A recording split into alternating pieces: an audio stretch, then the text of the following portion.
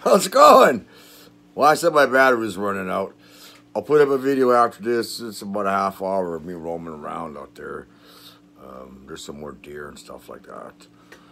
Uh, for those of you that like to watch that stuff. So, I was watching a Tim Tim Pool story, and uh, in Sicily, people are rioting and looting stores. They have to have the police to stop him from coming in because because they're hungry.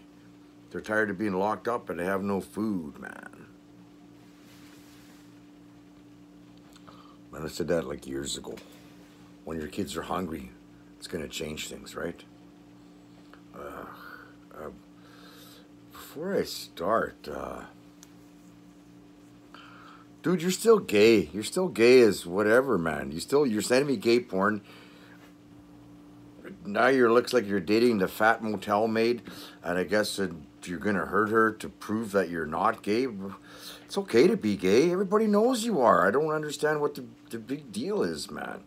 Be gay. I just I'm not. I don't like you that way. So you want to prove me wrong? Show me a videos of your job. Show me your car.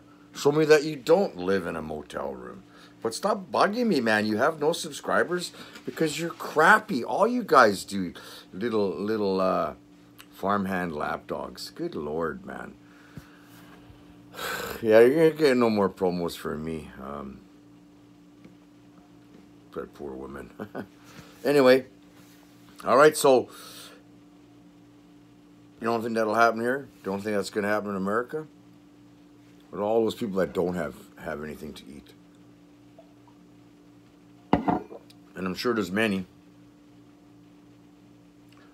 There's what, um, like I said, there's no yeast. Toilet paper is going to be the least of your problems, I would think, when you can't have bread. You don't have the basics of food. In my store, they laugh. They go, why are they buying up all the yeast? Why do they buy bread? Because there's still bread available right now. Uh, just, you're not just going to start baking just like that. people, people think that. it's not that simple, man. And uh, a lot of people forgot what real bread's like, and they're used to store bought bread, and your kids probably won't like it either, if and when you can make it. You know, so, like I said, I'm not going to go hungry. I've shown you right there, at least I'm going to have meat. And I've shown already that I can, I'm capable of doing it, not just talking about it. And wearing uh, costumes. You know, I've always said before when I talked about getting your pal, it's not to protect yourself from the government, it's to protect yourself from, well, the kind of people that I've shown you that are out there in this last little while. Those are the kind of people, do you think that uh, they'll have any qualms about kicking old people in the teeth and taking what they got? Especially when there's a pack of them and if they think you're weak and if you don't have firearms to protect you and they need their cheeseburgers. Mom and dad can't afford to feed them anymore. To leave the basement. I don't know.